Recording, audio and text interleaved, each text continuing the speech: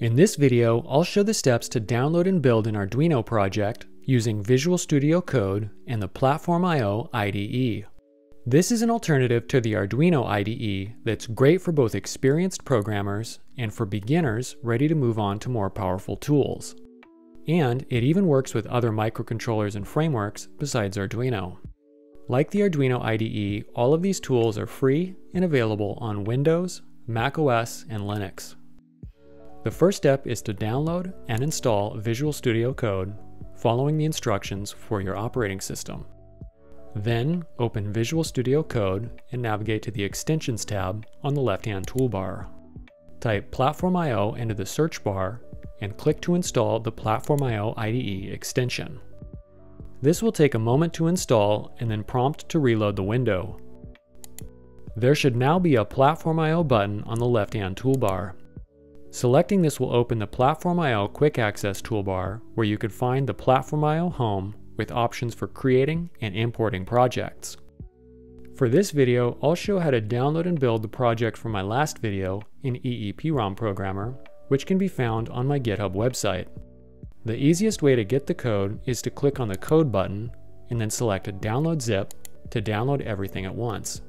The more advanced way is to use the Git tool to clone the project but I'll show how that works and why you'd use it in a later video.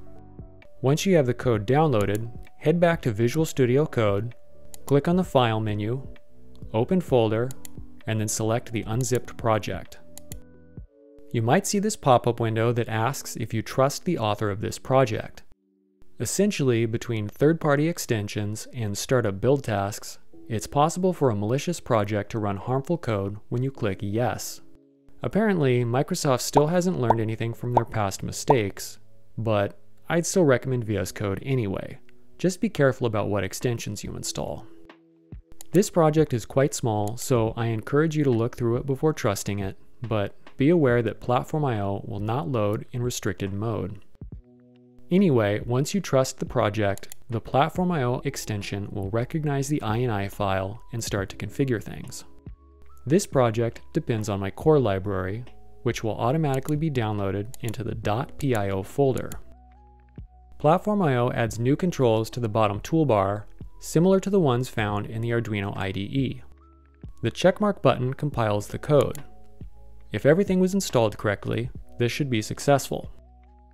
But before uploading the code, I need to select one of the environments defined in the INI file. I'm using an Arduino Nano, so I'll select that. Now I can plug in my Arduino Nano and use the arrow button to upload the code. All good. Finally, the plug button, or is that an AND gate? I, I really can't tell. Anyway, this launches the serial monitor to talk to the Arduino. This is different from the Arduino IDE's serial monitor in that rather than typing into a box and hitting send, every key press is immediately sent to the Arduino just like typing into the command prompt on a computer. This also makes it possible to code arcade games that use the arrow keys and display colored text, but I'll show that off in a later video. For now, I just want to use this serial monitor to upload a file to my EEPROM programmer. I type the import command, hit the enter key, and then paste the Intel hex stream with the bytes that I want to program. Next, I type the verify command, paste the hex stream again, and make sure it prints pass, indicating that the same data was read back. And finally, the lock command puts the EEPROM in read-only mode. This should give you enough background to build any of my Arduino projects.